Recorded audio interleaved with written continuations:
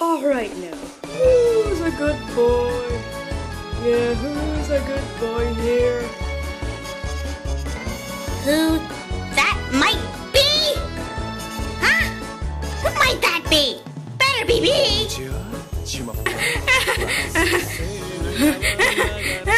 More Lysandre, put me on board! Whee!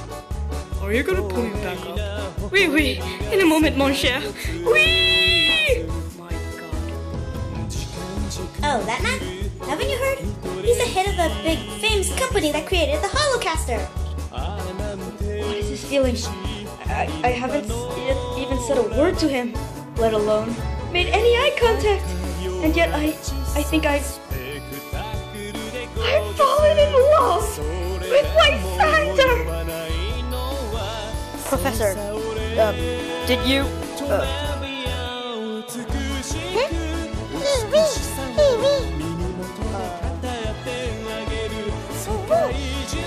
Is important. I'm sure.